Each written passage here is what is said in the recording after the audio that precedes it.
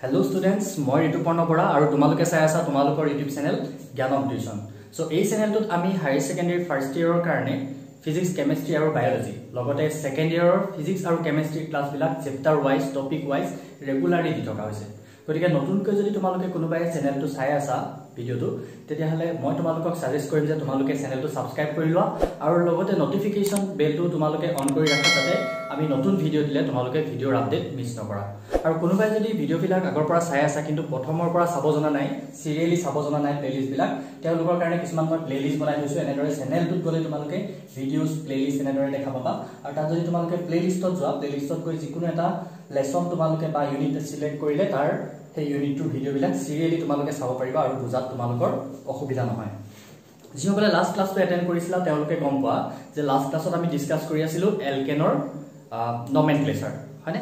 এলকেনৰ নমেন ক্লেচাৰ আমি ডিছকাছ কৰিছিলোঁ আৰু তেতিয়ালৈকে আমি যিবিলাক ষ্ট্ৰেইট চেইন বা যিবিলাক ব্ৰাঞ্চ চেইন এলকেন থাকে মানে যিবিলাক এ চাইক্লিক হয় সেইবিলাকৰ আমি নমেন ক্লেচাৰ লাষ্ট ক্লাছলৈকে ডিছকাছ কৰি আছিলোঁ।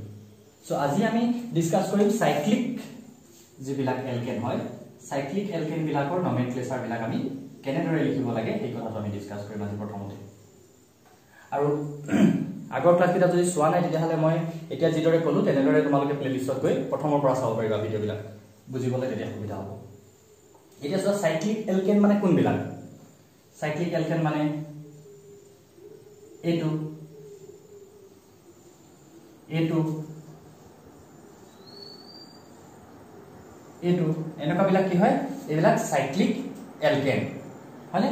ইয়াত কেইটা কাৰ্বন আছে? এটা দুটা তিনিটা। তিনিটা কাৰ্বন এটা চাইকেলত লগ লাগি আছে। ইয়াত চাৰিটা কাৰ্বন এটা চাইকেলত লগ লাগি আছে।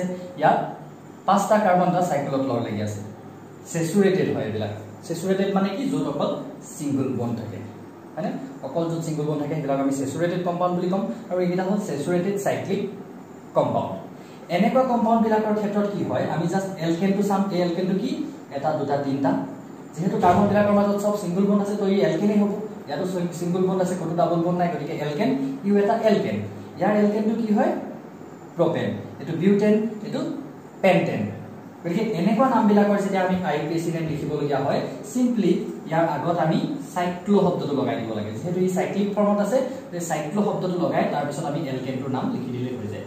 চাইক্লো প্ৰপেন ইয়াৰ নামটো যদি আমি লিখোঁ তেতিয়াহ'লে হ'ব চাইক্লো বিউটেন তেনেদৰে ইয়াৰ নামটো হ'ব চাইক্লো পেণ্টেন একদম চিম্পল গম পাইছেনে?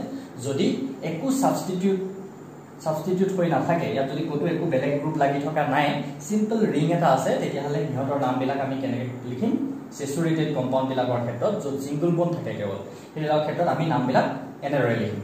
কেৱল আগত চাইক্লো লগাই দিম আৰু এলকেনটোৰ নামটো লিখি দিম। একেবাৰে ইজি কথা। এতিয়া চাওঁ আহা যদি ছাবষ্টিটিউট থাকে যদি কিবা লাগি থাকে তেতিয়াহ'লে সেইবিলাকৰ নামবিলাক আমি কেনেদৰে লিখিম সেইটো চাওঁ আহা এতিয়া চাওঁ আহা এনেকুৱা যদি ছাবষ্টিটিউটেড হৈ থাকে এইটো এটা চাইকেল হয়নে? ৰিং কাৰ্বন এইটো এলকেনেই হয় কাৰণ ইয়াত কোনো ডাবল বন নাই হয়নে? এইটো চাইক্লোহেক্সেন এনেই চাবলৈ গ'লে। কিন্তু চাইক্লোহেক্সেনটোত কি হৈ আছে? ছাবষ্টিটিউট লাগি আছে। এইফালে এইটো কি লাগি আছে? এনেকে এটা চুকে ওলাই আছে এইটো কি বুলি কওঁ আমি?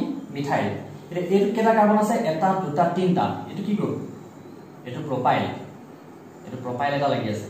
ইয়াত প্ৰপাইল এটা লাগি আছে। এইফালে কি? এইফালে এইটো এটা এইটো এটা দুটা কি লাগি আছে? মিঠাইল এইটো এটা মিঠাই। ধৰিব পাৰিছানে কথাটো? বুজি পাইছা নহয়? তোমালোকক এই ষ্ট্ৰাকচাৰবিলাক কেনেকৈ লিখে সেইটোতো মই শিকাইছিলোঁ। এনেকুৱা এডাল বণ্ডৰ এই এটা চুকে কি বুজাব? এটা এটা কাৰ্বন বুজাব। আৰু কাৰ্বনটোৰ লগত যেটা হাইড্ৰজেন লাগে লাগি থাকিব লাগে সেইটা লাগি আছে আৰু। হয়নে? আকৌ এনেকে এনেকে যাওঁতে এই চুকটোৱে এটা কাৰ্বন বুজাইছে এইটো এটা কাৰ্বন বুজাইছে। ইয়াত কেইটা কাৰ্বন লাগি আছে দুটা। চ' ই কি হয়? এটা ইথাইল।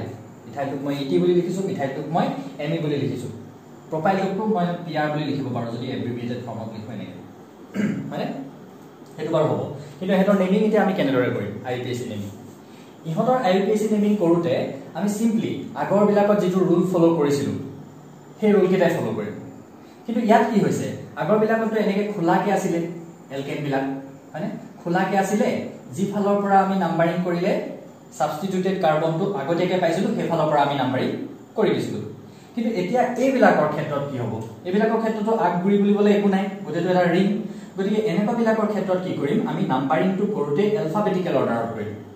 নাম্বাৰিংটো কৰোঁতে এইটো ক্ষেত্ৰত এতিয়া। এইটো ক্ষেত্ৰত যদি চাওঁ আমি নাম্বাৰিংটো কৰোঁতে এলফাবেটিকেল অৰ্ডাৰত কৰিম।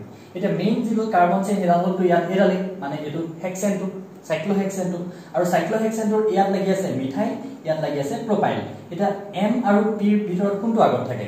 এলফাবেটিকেল অৰ্ডাৰ ই আগত থাকে গতিকে এই কাৰ্বনটো হ'ব কাৰ্বন নাম্বাৰ ওৱান এইটোত আমি কাৰ্বন নম্বৰ ওৱান পালো। তাৰপিছত যদি আমি এইফালৰ পৰা কাউণ্ট কৰিলোহেঁতেন তেতিয়াহ'লে কি হ'ব? Two three four five next আমি ব্ৰাঞ্চটো ক'ত পাম? পাঁচ নম্বৰ কাৰ্বনত কিন্তু এইফালৰ পৰা যদি আমি কাউণ্ট কৰোঁ তেতিয়াহ'লে কি হ'ব? টু থ্ৰী তিনি নম্বৰ কাৰ্বনতে আমি নেক্সট ব্ৰাঞ্চটো পাইছোঁ। আৰু এনেদৰে যেতিয়া কাউণ্ট কৰিম সেইটোক কোৱা হ'ব লৱেষ্ট লোকেণ্ট ৰুল বুজিছেনে? প্ৰথম ছাবষ্টিটুৱেণ্টটো পোৱাৰ পাছত নেক্সট আমি সেইফালৰ পৰা কাউণ্ট কৰিম যিফালৰ পৰা কাউণ্ট কৰিলে নেক্সট ছাবষ্টিটুৱেণ্টটো আমি লৱেষ্ট পচিবল নাম্বাৰত পাওঁ। গম পাইছেনে? গতিকে নাম্বাৰিংটো আমি এনেদৰে কৰিব লাগিব এইটো ক্ষেত্ৰত। এতিয়া ইয়াৰ নাম্বাৰিংটো এনেদৰে কৰাৰ পিছত আমি নামটো কি বুলি লিখিম ইয়াৰ? চোৱা এতিয়া এলফাবেটিকেল অৰ্ডাৰটো ইয়াৰ আগত আহিব চ' নামটো হ'ব ওৱান মিঠাই থ্ৰী প্ৰপাইল এইটো কি হয়? চাইক্লোহেক্সেন তো ইয়াৰ নামটো হ'ব এইটোৱে। চাইক্লোহেক্সেন তাৰপিছত এইটো যদি এতিয়া আমি চাওঁ ইয়াৰ কি হ'ব? নামটো। ইয়াত ছাবষ্টিটুৱেণ্ট লাগি আছে এই কাৰ্বনটোত দুটা মিথাইল লাগি আছে। আৰু এই কাৰ্বনটোত এটা ইথাইল লাগি আছে। এতিয়া মিথাইল আৰু ইথাইল এইটো যদি আমি এলফাবেটিকেল অৰ্ডাৰত চাবলৈ যাওঁ তেতিয়াহ'লে কি হ'ব? ইটিটো আগত আহিব লাগে ইথাইলটো। আৰু মিঠাইলটো পিছত আহিব লাগে। কিন্তু কি কথা এটা আছিলে যে য'ত বেছি ব্ৰাঞ্চ লাগি থাকে সেই কাৰ্বনটোক আমি কি কৰিব লাগিব? ইয়াত আমি কি কি ৰুল ফ'ল' কৰিছোঁ? ইয়াত চিম্পলি কি লিখি থ'বা ছাইডত দৰকাৰ হ'লে alphabetical order of numbering follow' কৰিছোঁ এইটো নাম্বাৰিংটো কৰোঁতে এলফাবেটিকেল অৰ্ডাৰটো ফ'ল' কৰিছোঁ হয়নে আৰু এইটোতো আমি এলফাবেটিকেল অৰ্ডাৰ ফ'ল' কৰিলোহেঁতেন কিন্তু ইয়াত কি হৈছে এটা কাৰ্বনত দুটা ছাবষ্টিটুৱেণ্ট লাগি আছে হয়নে গতিকে ইয়াত আমি কোনটো ৰুল ইউজ কৰিম এইটো এলফাবেটিকেল অৰ্ডাৰটো ফ'ল' কৰিছোঁ আৰু লগতে কি কৰিছোঁ lowest locant rule lowest locant ৰুলটো তোমালোকক মই বুজাই ক'লোৱেই যে প্ৰথম ছাবষ্টিটুৱেণ্টটো পোৱাৰ পাছত নেক্সট ছাবষ্টিটুৱেণ্টটো যিফালৰ পৰা কাউণ্ট কৰিলে আমি সোনকালে পাম। আমি সেইফালৰ পৰা কাউণ্ট কৰিম। এইটো কম কি? লৱেষ্ট লোকেণ্ট ৰুল এইটো ইউজ কৰিছোঁ আৰু অব্লিক দি মই লিখি দিছোঁ কি কি ইউজ কৰিছোঁ ইয়াত। এইটো ক্ষেত্ৰত লৱেষ্ট লোকেণ্ট ৰুল এই দুটা ৰুল ইয়াৰ ক্ষেত্ৰত আমি ইউজ কৰিছোঁ। এতিয়া ইয়াৰ ক্ষেত্ৰত আমি কি ইউজ কৰিম? ইয়াৰ ক্ষেত্ৰত আমি প্ৰথমতে এই যিটো কাৰ্বনত বেছি ছাবষ্টিটুৱেণ্ট লাগি আছে সেইটোক কাউণ্ট কৰিম। গতিকে মোৰ ছাবষ্টিটিউটেড দেখা পাইছানে? মোৰ substituted carbon gets lower number যিটো কাৰ্বনত বেছি ছাবষ্টিটুৱেণ্ট লাগি আছে ই লোৱাৰ নাম্বাৰটো পাব। গতিকে এইটো হ'ল কাৰ্বন নাম্বাৰ ওৱান এতিয়া নেক্সট আমি যেতিয়া কাউণ্ট কৰিম এইফালৰ পৰা যদি কাউণ্ট কৰিলোহেঁতেন দুই তিনি চাৰি পাঁচ আকৌ পাঁচ নম্বৰটোতহে আমি নেক্সট ছাবষ্টিটুৱেণ্টটো পালোহেঁতেন। কিন্তু যদি আমি এইফালৰ পৰা কাউণ্ট কৰোঁ তেতিয়াহ'লে টু থ্ৰী তিনি নম্বৰটোতে আমি নেক্সট ছাবষ্টিটুৱেণ্টটো পাইছোঁ। হয়নে? তিনি নম্বৰটোতে আমি নেক্সট ছাবষ্টিটুৱেণ্টটো পাইছোঁ। এতিয়া নেমিং কৰাৰ ক্ষেত্ৰত এইটো আকৌ ইয়াতো কি হৈছে? লৱেষ্ট লোকেন ৰুলটো লাগিছে দেই। এইটো হৈছে তাৰপিছত নেক্সটটো আমি কি কৰিছোঁ? লৱেষ্ট লোকেনটো আমি ইয়াত ফ'ল' কৰিছোঁ। তাৰপিছত নেমিংটো কৰোঁতেতো আমি এলফাবেটিকেল অৰ্ডাৰতে লিখিব লাগিব নামবিলাক লিখোঁতে কিন্তু। ইয়াত নাম্বাৰিংটো কৰোঁতে এইটো ৰুল খাটিলে কিন্তু নেমিং কৰোঁতে নেমিং কৰোঁতে সদায় নামবিলাক লিখোঁতে এলফাবেটিকেল অৰ্ডাৰতে কিন্তু লিখিব লাগিব। হয়নে? গতিকে কোন আগত আহিব এতিয়া? এইটো বাৰু ডাই মিঠাইল। কিন্তু ডাই ট্ৰাই এইবিলাকতো মই এলফাবেটিকেল অৰ্ডাৰত নধৰে বুলি তোমালোকক সেইটো কথা স্পষ্ট কৰি থোৱা আছে। গতিকে এতিয়া ইয়াৰ নামটো কি হ'ব? Three ethyl. তাৰপিছত ওৱান ওৱান ডাই মিঠাইল। ইয়াৰ লগতে লিখিব লাগিব একেলগে ইয়াত মই যোৰা নাই কাৰণে মাত্ৰ এইটো দিছোঁ। তোমালোকে দিব নালাগে হাইফেনটো একেলগে লিখিবা ডাই মিঠাইল চাইক্লো হেক্সেন দেখিছা? তো নামকেইটা হ'ল এনেকুৱা ধৰণৰ। বুজি পাইছা কথাটো? হয়নে? তো চাইক্লিকবিলাকৰ নেমিং আমি এনেদৰে কৰিম। কি কি ক'লোঁ? যদি চাইকেলটোত একো লাগি নাথাকে যদি অকল চেচুৰেটেড বন থাকে ছিংগল বন আৰু তাত একো লাগি নাথাকে তেতিয়াহ'লে আমি জাষ্ট তাৰ আগত চাইক্লো শব্দটো লিখিম আৰু যিটো এলকেন হয় তাৰ নামটো তাৰ লগত লিখি দিম। হয়নে? আৰু যদি ছাবষ্টিটুৱেণ্ট লাগি থাকে তেতিয়াহ'লে ছাবষ্টিটুৱেণ্ট লাগি থকাবিলাকৰ ক্ষেত্ৰত আমি কি কৰিম? জাষ্ট যিকেইটা ৰুল আমি পাইছিলোঁ সেই ৰুলকেইটা ইউজ কৰিম। কিন্তু ইয়াত যিহেতু এনেকৈ চাইকেল হৈ থাকে গতিকে আমি কি কৰিম? নাম্বাৰিঙৰ ক্ষেত্ৰত প্ৰথমতে আমি চাম এলফাবেটিকেল অৰ্ডাৰৰ কথাটো। এলফাবেটিকেল অৰ্ডাৰ থাকিলেও নাথাকিলেও যদি কিন্তু বেছি ব্ৰাঞ্চ লাগি থাকে কোনোবা এটা কাৰ্বনত তেতিয়াহ'লে বেছি ব্ৰাঞ্চ থকা কাৰ্বনটোৱে লৱেষ্ট নাম্বাৰটো পাব আৰু তাৰপিছত নেক্সট কামটো হ'ল লৱেষ্ট লোকেণ্ট ৰুল আৰু নেমিংটো কৰোঁতে কি হ'ব? সেইটো চব এলফাবেটিকেল অৰ্ডাৰতে হ'ব। নাম্বাৰিং যেনেকেই নহওক কিন্তু নেমিং কৰোঁতে সদায় এলফাবেটিকেল অৰ্ডাৰতে হ'ব। চ' এইকেইটাই ৰুল দুটামান তোমালোকক মই কৰিবলৈ দিওঁ। হোমৱৰ্ক নিজে কৰি চাবা আৰু পাৰিলে মোক দেখাবা। ঠিক আছে?